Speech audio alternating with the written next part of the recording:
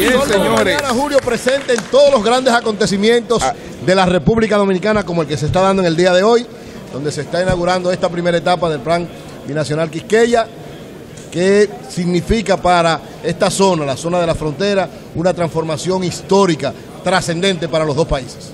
Así es. Ahora están con nosotros don Roberto Martínez Villanueva, que es el embajador de la Comisión Mixta Bilateral, y Mark Anthony, que no es el salsero, sino Mark, Marc Antoine Acra, Acra. que es la no soy el contador. ¿Eh? No soy el contador. No, no es el que canta. No, el canta. Marc Eh, Antoine. eh, es la contraparte de, de los empresarios haitianos en este plan económico binacional Quisqueya. Entonces vamos a, vamos a conversar con él, que nos ayudará aquí un traductor eh, para que... Mark, ¿por qué vincularse a este proyecto? ¿Qué importancia tiene para ustedes y qué expectativas tienen sobre este proyecto? Je pense qu'il faut arrêter de vivre au 19e siècle. Eh, creo que se debe cesar de vivir al siglo XVII, 19. XIX. Oui, 19e. Je pense qu'aujourd'hui, euh, le futur d'Haïti et le futur de la République dominicaine dépend des investissements binationaux.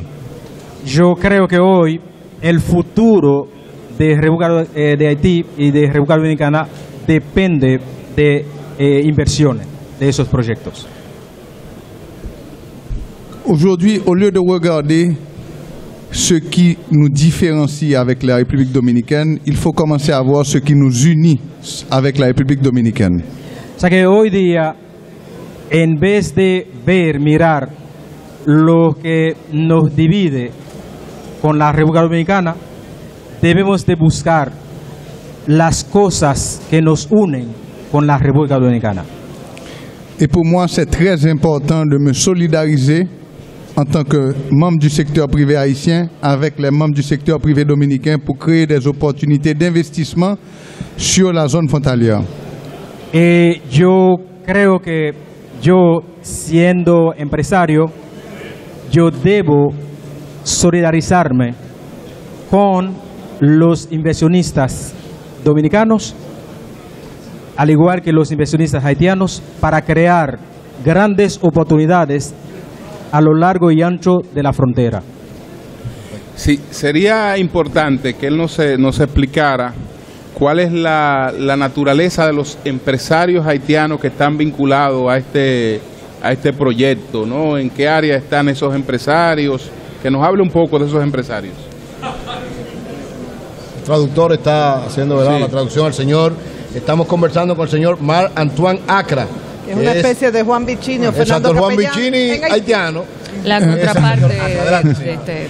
Ah, tiene gente en el, en el sector de turismo, banco. Yo voy a hablar en español cuando puede. Ah, ok, También, ok. eh, porque es importante que lo practico y que lo hablo, porque Ok, ok. ahora soy binacional. No soy Ah, haitiano, ya. no soy... Tiene que hablar los dos. Pero es muy... eh, Turismo, en las áreas. Decía turismo, eh, áreas que banca, que, Sí, sí, turismo, eh, agricultura, banco, eh, Transporte. logistic, transporte, comida. Tiene, mira, tiene muchas personas que están mirando a lo que estás haciendo ahora en la frontera. Yo tengo Porque una- es importante por ellos que he visto que yo y Juan puede hacer la unidad. No unidad de los dos países como lo político quiere, pero la unidad Comercial. comercial. Pero para nosotros es importante que tiene la confianza a los dos lados y tiene el diálogo también. Es muy importante el diálogo. Diálogo. De- del sector privado haitiano al sector privado dominicano. Y cuando puedes hacer inversiones en Haití, inversiones aquí, en el otro lado, como lo hace México y los Estados Unidos, Canadá y los Estados Unidos, Brasil y Argentina, y por qué no Haití y Santo Domingo. ¿Por qué no? ¿Por qué no lo hacemos? Porque estás mirando al otro lado. Ahora nosotros queremos cambiar esta mentalidad. Es la mentalidad del dis- 19 ciclo. estamos en 21. Vamos adelante, no vamos afuera.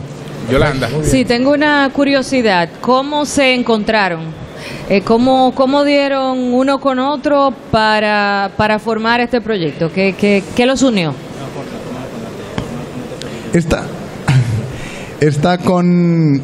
Eso empieza con el primer ministro haitiano, Logan Salvador Lamort, y el ministro de... de Gustavo Montalvo. Exteriores, Ah, de exteriores.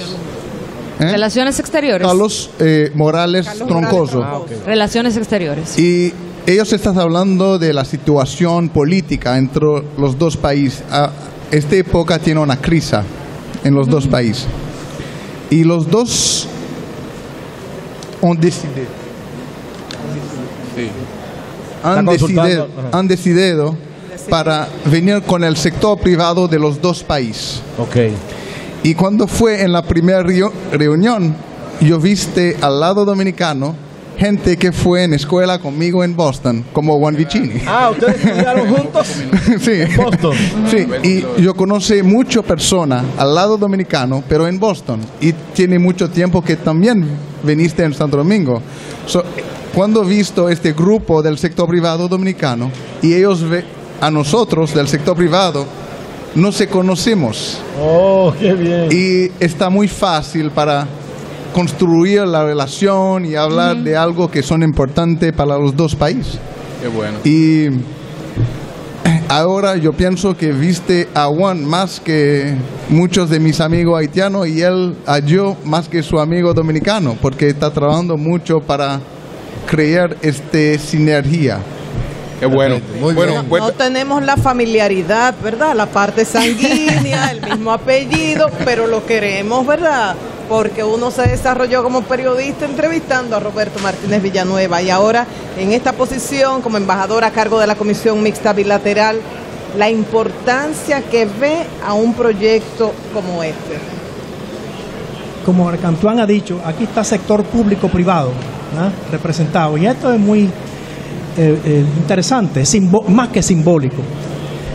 Desde el primer día, este ejercicio que es la Comisión Mixta Bilateral, que es un espacio de diálogo sí, sobre toda la agenda, la política, la desarrollista, eh, la social, la burocrática, la militar, toda la agenda entre dos países limítrofes eh, se inscribe dentro de, este, de esta, gran, esta gran avenida que es el canal de diálogo que eh, constituye la Comisión Mixta Bilateral. Dentro de esa, habíamos concebido, como Marc Antoine acaba de decir, en, los, en la génesis de todo este trabajo, la participación del sector privado como la punta de la lanza que podría comenzar a permitir la, ¿verdad? el encuentro de, la, de las economías de los dos países de una manera productiva, Correcto. con carácter binacional.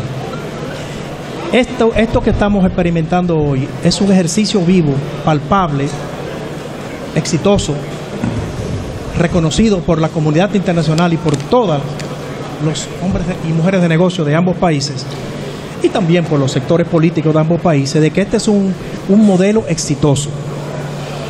De modo que el sector público eh, se ha manifestado en apoyo a ellos de dos formas. La primera, proporcionándole los planes y programas que puedan servir de complemento a esto.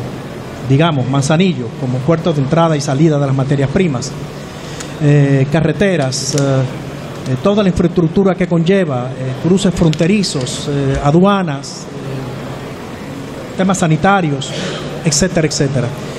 La idea es proporcionar en esta zona fronteriza, contando con el accionar del sector privado, su movilidad y sobre todo la forma como produce resultados en corto plazo, eh, fuentes de trabajo dignas que puedan servir tanto a la parte dominicana, ¿por qué no?, como la parte haitiana, que sean capaces de generar eh, esas oportunidades que se traduzcan en producción, empleo digno, exportaciones, mercancías para el consumo interno de ambos países.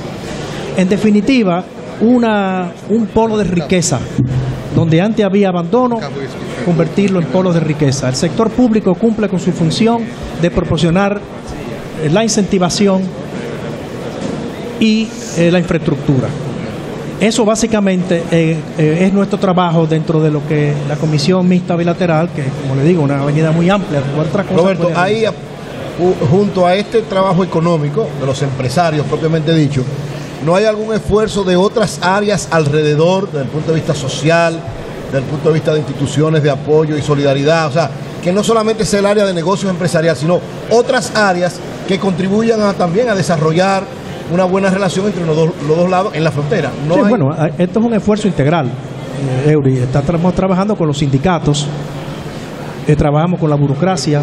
Desde la Cancillería estamos montando un programa de gestión de frontera que tiene que ver con la administración de la frontera de cara al siglo XXI, eh, que envuelve las autoridades municipales también en un esfuerzo concertado de ambos lados y eh, todo destinado a tratar de llevar a esta zona fronteriza eh, avances, progreso. Por ejemplo, uno de los apoyos que van a recibir estas eh, empresas privadas que se van a establecer en toda la faja del Atlántico el Caribe es energía.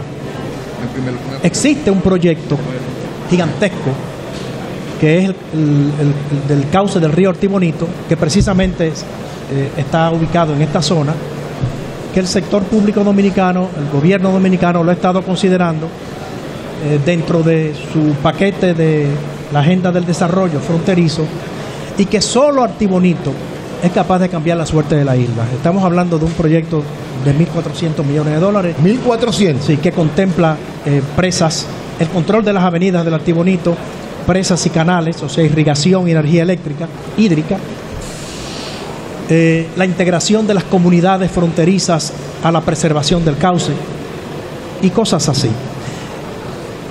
Lo que quiero significar es que hay una agenda de desarrollo puesta sobre la mesa en el contexto de la Comisión Mixta Bilateral, que es objeto de negociación entre los dos gobiernos y que cuenta con el apoyo al sector privado como un complemento esencial. Si hablé de Manzanillo, hablo también de Artibonito y así sucesivamente. La idea es que produzcamos riqueza, generemos riqueza a la zona y que quién mejor que el sector privado para esa generación.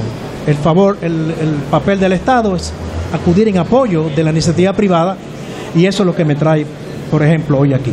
Bueno, señores, muchas gracias. Muchas gracias al Consejo Económico Binacional Quisqueya.